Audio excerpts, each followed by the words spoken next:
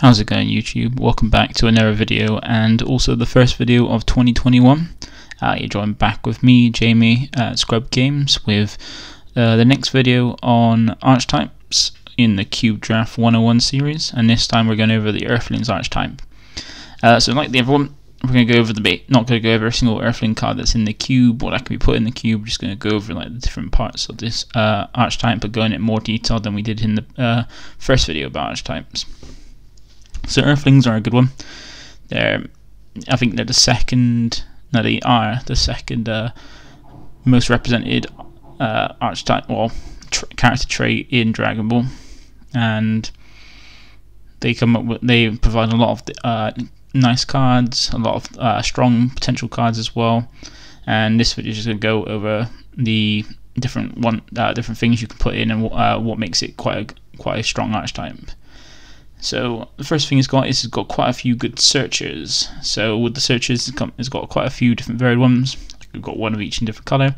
Like we've got the uh, Mai shown on the field, uh, shown on the screen, which goes over the, which basically just searches top five for a, a four cost or less of any color. So it's quite good for allowing you to transition into dual color within the cube because you can have red with this uh, with Mai and search over into uh, earthlings of different colors and it allows you to it, just any any um, any earthling of four or less you can search, which is quite good. It gives you a bit, uh, a bit more synergy uh, when deck building after drafting, and also is a is a very strong card. As in, uh, if you have Mai early, you know that any earthling you do end up drafting from the cube, you can then potentially make uh, have a way to search it a lot easier so you can see more, uh, see it a bit better. And same with uh, uh, Bulma God Temper. Temper so it's never searcher, but more of a specific one.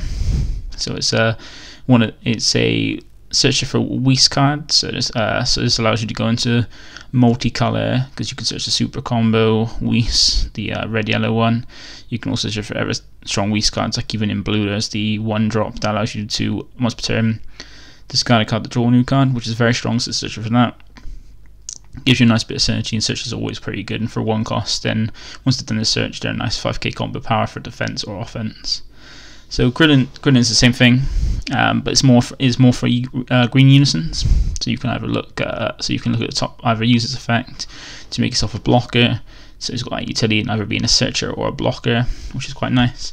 And it ties in with the Krillin um, the Krillin and Goku uh, support from Clash of Fates, that kind of like individual small archetype within uh, Earthlings.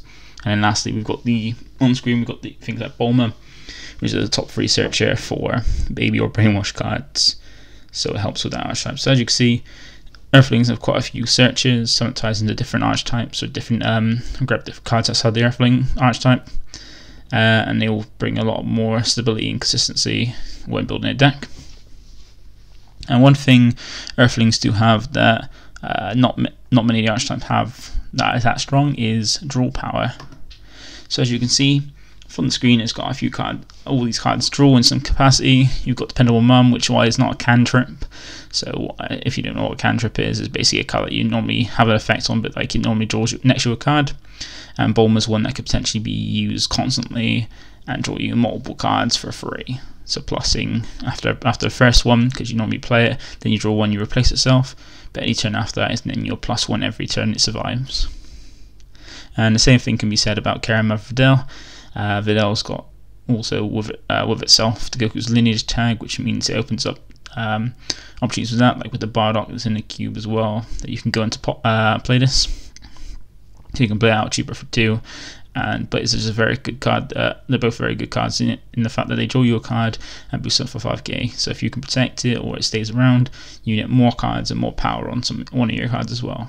And in every one we've got uh, so those those are ones that are recurring, um, recurring draw power, which is very strong. And we have the ever uh, never read one. Bulma from the sidelines is a very good one. It's more reliant on Saiyans uh, to get the draw, but it's nice for um, deck thinning uh, as the fact that when you play it, as long as you've got Sen on board in your battle area, you can draw two cards and then discard, discard two cards. So it lets you draw more for your deck because there's some things you might want in drop or you might not be useful at the moment. You, you can discard it or grab it back later. The same thing goes for Fledgling, uh, Fledgling tap pan but rather than being, and also when you play it, it's just every turn activate activate main, and this is one of the cards like cards like Fledgling Talent Pan, are ones that I want always look to grab when playing uh, Cube because once you, if you can get out early, because every turn you're discarding a card that you can't use or don't want, they draw a brand new card, meaning your deck fitting faster from your opponent. Because while they've got basically any any amount of cards uh, ways they got the draw, you got that plus one technically. And it works in synergy with cards that you want in the drop or the trigger by being discarded, like for example the Godly Beerus, uh, Beerus Godly Majesty, things like that. But as you can see, uh, these are only a few examples, or some of the really good examples, but there's quite a lot of draw power within Earthlings. It's more of a generic uh, archetype that helps you generate a lot of advantage and keep consistency.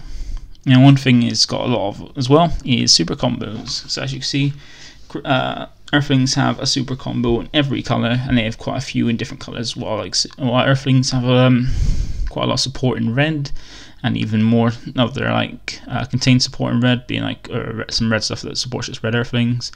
You got um, Earthlings in every color, and a lot of uh, good cards that uh, can you also grab your super combos as well. Like um, like the as I said, the Mai the searcher can grab your super combo as well, which is quite nice, and it just gives you it just opens up a lot. Like Mai is one of the probably best uh, Earthling cards due to the fact that it can grab you super combos and grab you draw power. It can grab you almost anything. Um, and give you that nice utility as well to make it more consistent in your deck. But a lot of the there's a lot of Earthlings in the super uh, super combos as well, and also the note that I should have known at the beginning is that um, I've only tried to include more focus on just like the soul Earthlings and not anything, not any cards that are like Saiyan Earthling and things like that, because uh, they're normally supported by just things like uh, this Earth, uh, Earthling Saiyan cards are more supported by their own um, archetypes, like Trunks, for example, is like his future Trunks kind of uh, archetype, um, things like that. And say with the Goten, Gotenks, and Trunks stuff. Uh, I'm not including that because that's more of their own archetype as well. So I try to focus more on the uh, just pure Earthlings. But yeah, uh, every um, it opens up. They like they got quite a few uh, different super combos, multiple ones in each color, so it's a good support in that. Meaning that you've got uh, if you have got a searcher for any certain character, or even just Earthlings in general, then you've got uh, easy ways to make sure make sure you can grab your super combos and stuff. And you've also got some other combo cards that are um, quite strong as well to help with. So as you can see, uh, are quite a few cards. So when you combo it, you get some benefits. So Master Roshi helps with um helps uh, out when you go uh, with your multicolor cards. So if you have to charge one, if you try to charge one early because you want to get in um on in your energy, a dual color card that help maintain your energy efficiency. And but it's if it's one that you want to have for later, Roshi gives you an option to always grow it back as well and replace it with something else. Heavy Kick Krillin is more is another one that more supports blue, giving you a pseudo uh, pseudo super combo because it gives you that 10k because against 5k when you combo if your leader's blue and you have a got a card in your energy which is the pull off. And you got things like Fortune Barber, which have effects when they combo like minusing things by power, and then same with Krillin by uh, being able to drop things from your opponent's combo area when combo from your from your battle area. So they've got quite a few uh, unique combo cards in this in Earthlings as well. Um, they help they help things like Barber can help get rid of your opponent's cantrips. If they swing, you can combo this off to uh, avoid taking damage and then get rid of the, the cantrips. And same with Negotiate Krillin. If they try to combo things like Warcry, uh, Product Raiders Warcry, you've got Negotiate Krillin to just sack it off from, the drop, from their uh, combo area, which is quite interesting, quite nice. Another thing um, Earthlings have that's quite unique to it. Uh, the archetype are negates, and what I mean, I don't mean just like standard negates. I mean negates that you can uh, that play themselves. So as you can see, the three strongest examples of these are the two Roshis and Videl, like each within blue, red, and yellow respectively. Like green, I think green has some, but it's more in the uh, androids because androids normally occupy most of the green and you've got the benefit of just being a one cost negate, just negate attack, and then you can after that use them off for a 5k combo, which is very strong. This is um, more. I think the most of them are in Earthlings, and also they, as you can see, they support Universe Seven tag with the Roshis, giving you Universe Seven support. If you do decide to include in your cube things like the uh, uh, making U7 archetype properly in it, covering multiple colors, these have uh, these slide into that as well. Uh, but these are very strong cards as well, and some things that have uh, quite a good option as well. I think there are a few other negates things, but I think they might be, cost more. These are the only ones that cost one I could find. And as I said before as well, a contained uh, archetype within Earthlings would be the Krillin archetype. So if you don't know what it means, uh, back in Clash of Fates, we got uh, two four cost Krillins and a card and a Goku card that ties in well with it. It's like a small little package. Uh, by uh, well, I, don't have to Goku up because I forgot to search it. But basically, what the Goku does is if a four cost Krillin, I think it's I can't remember if it's green or just I know it's a four cost Krillin. That I can't remember if it has to be green. Is uh, uh basically KO'd in your battle. It's removed from your battle area. Then you get the play itself for free from your hand, and it's got an effect of it uh, when it's played. If your lead is green, well, if your lead is green as well, um, just more green support as well as Krillin support.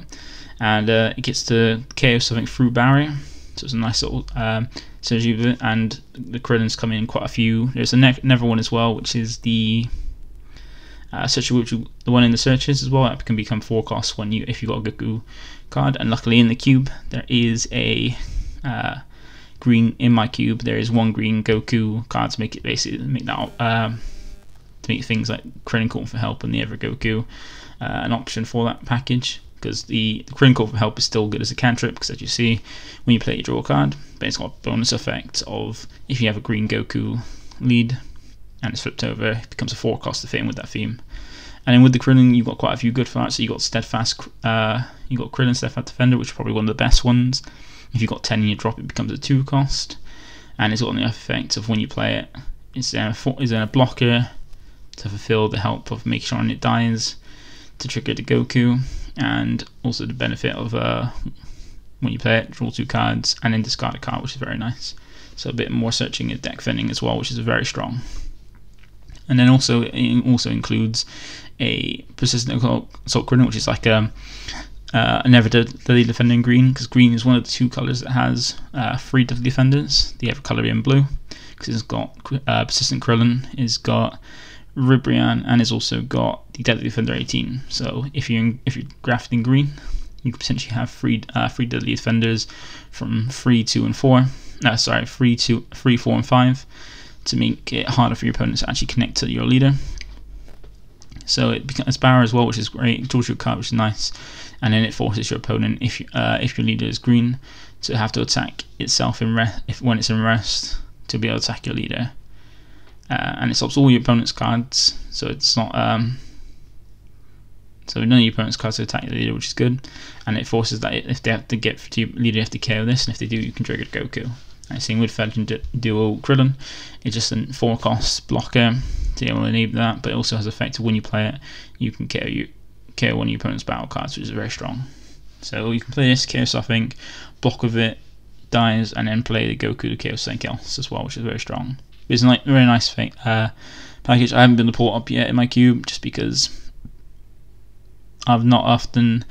Normally, when I've seen a Goku, I've not. I've sometimes I will grab the Goku if I see it. If I'm drafting green with a green leader, I'll grab the and I see the Goku, I'll grab it. But sometimes I don't always see the Krillins. But then that's the thing with cube. Uh, one time, like you're more likely to draft almost everything as long as you try like try to commit to it. Like you can take a risk and try to uh, draft certain things, put your mind to it, try and draft certain things, and other things that just basically come to you. And the last thing I was going to go over is the heavy hitters in Earthlings. I heard Earthlings have quite a few strong heavy hitters. Uh, I got three of the probably best examples on board. That being the Yamcha Desert, Desert Hyena, which is more focused for red, um, but it can still be using anything that isn't red. You have to have a focus on red to play it because it requires four specified, uh, three specified red to play it as, as a forecast. And if you have a red leader, so if you go white all red, including leader, it becomes a 30k. But it's very strong in the fact that it's got two strong autos. First one, where if your opponent tries to count, uh, if it attacks, and your opponent uses a counter, switches back to active mode so it can get another swing.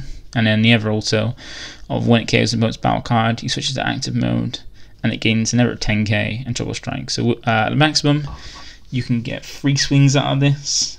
With the last one, uh, well, you can get a free two, two, you can get three swings from two being 30k and one being 40k, with the last one being uh, 40k triple strike, which is very uh, scary and very strong. Then you got things like Master Roshi, um, Maximum Muscle, very good late, uh, late game finisher.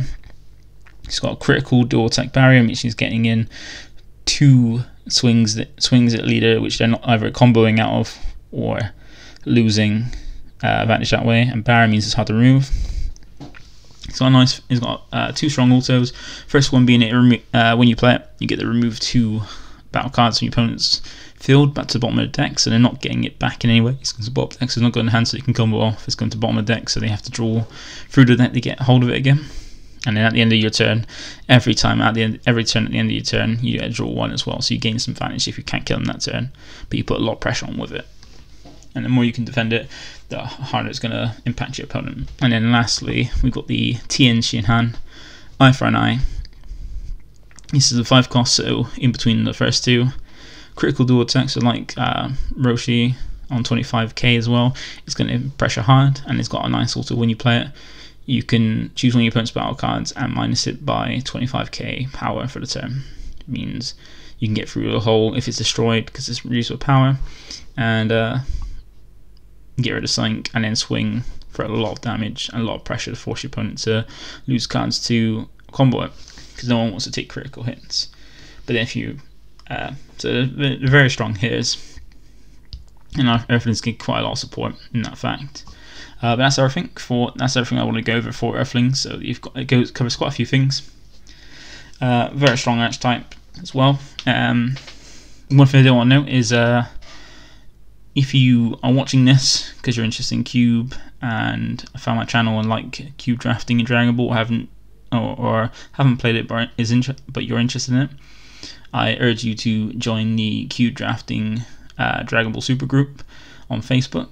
Uh, link is down in the comments uh, description below. I've managed to now finally include my cube up there, uh, cube list up there. So if you're looking for a base or just want to use my cube and then improve upon it, you're welcome to. It's on the group. Uh, or if you just want to see uh, kind of example before you're building your cube, you're welcome to do that as well. Uh, and as I said, as I keep saying, any questions about it or any questions you have about cube drafting, feel free to comment in any of the cube draft videos. I'll see it and I'll reply to it as best I can to help because that's all I want to do. Help out with um, help people uh, that are interested in this format get into this format because it is very enjoyable and I'm loving it.